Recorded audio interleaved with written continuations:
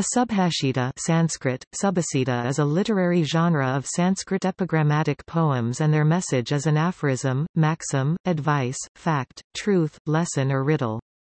Su in Sanskrit means good, bhashita means spoken, which together literally means well-spoken or eloquent saying. Subhashitas in Sanskrit are short memorable verses, typically in four padas verses but sometimes just two, but their structure follows a meter.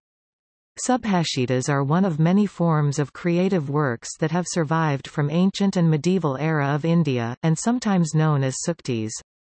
Ancient and medieval Indian literature created tens of thousands of subhashitas covering a vast range of subjects. These epigrammatic verses and their anthologies are also referred to as subhashitavali or subhashitani.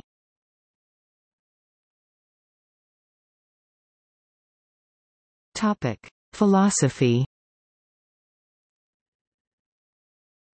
Subhashitas are known for their inherent moral and ethical advice, instructions in worldly wisdom and guidance in making righteous deeds. Subhashitas create an appeal as the inherent message is conveyed through poems which quote practical examples which are often rhythmic in nature.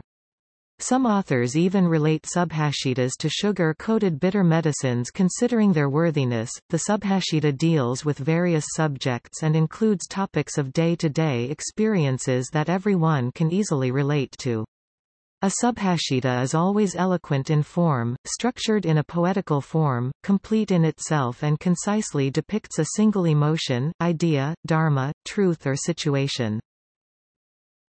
Subhashitas are drawn from real life and give fruit of philosophy grafted on the stem of experience.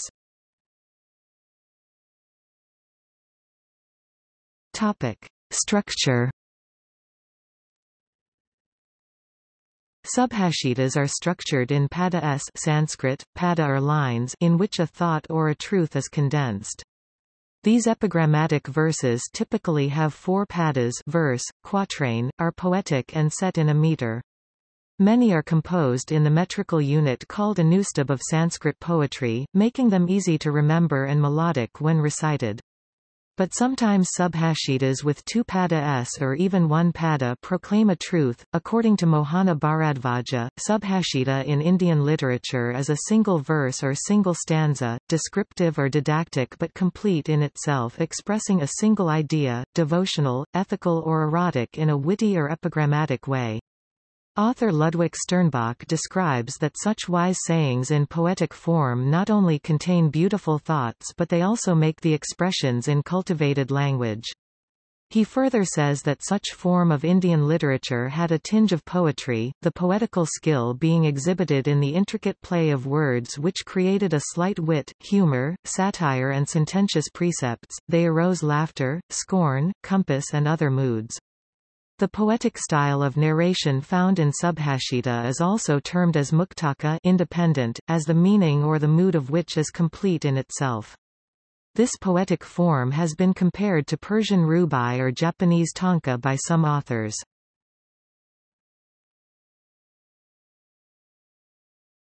Topic. Sources The authors of most Subhashita are unknown.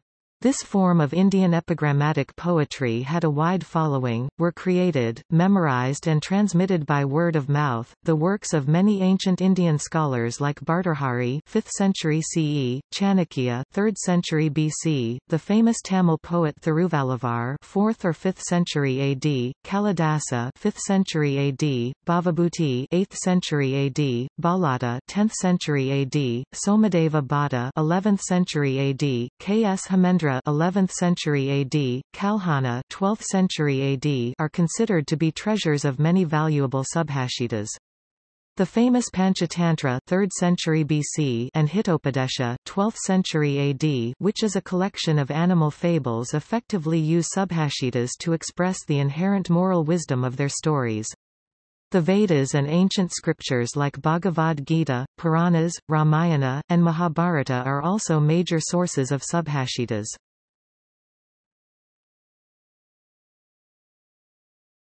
Topic: Dedicated works.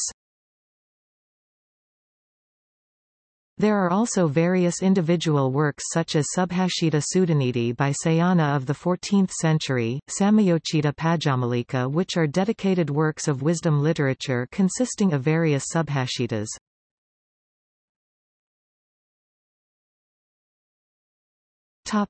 Collection of verses Subhashita Sangraha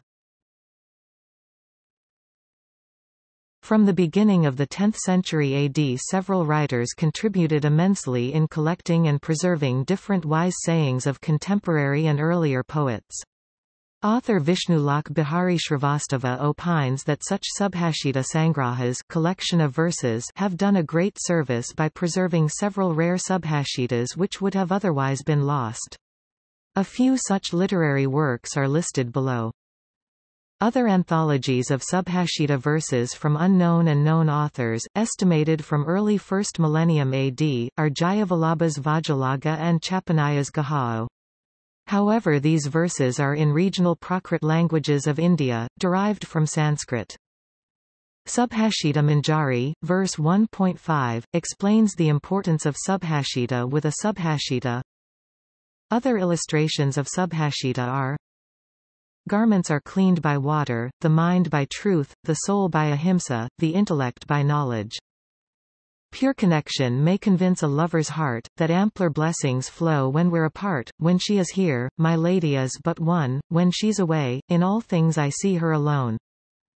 There are tens of thousands of subhashita in Indian literature covering topics as diverse as humor, sarcasm, criticism, politics, eroticism, emotions, love, wealth, daily life, society, learning, stages of life, ethics, morals, spirituality, deities, medicine, food, festivals, prayer, riddles, science, mathematics, poetry, language, art, Vedas, Upanishads, Puranas, Itihasas, and other subjects.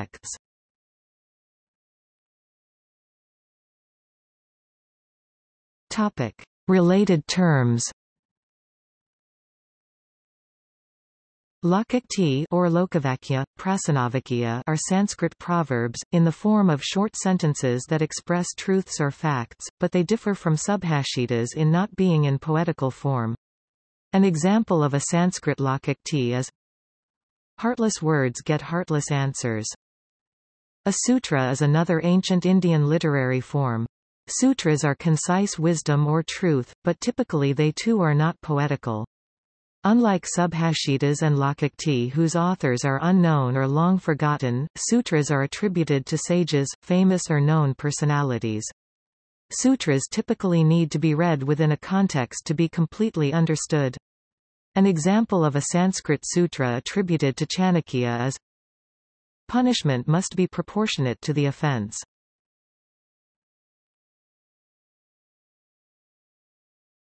Topic.